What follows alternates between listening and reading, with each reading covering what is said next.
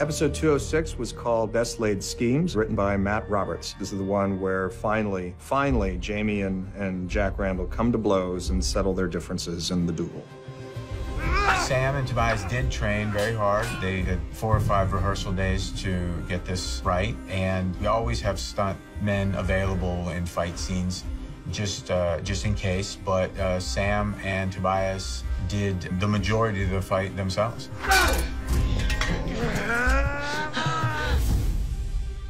Claire and Jamie made two promises to each other. And when you break a promise to someone you, you truly love, I think the, the betrayal of that. You promised me. It's this massive event yanking them apart. You chose me. Frank's innocent in all of this. You know, they're definitely soulmates and, and they should be together, and we want them to be together but you can try to make everything work the way you want it to. And I think Jamie and Claire feel like they can. And in doing so, the one thing they kind of forgot about is themselves.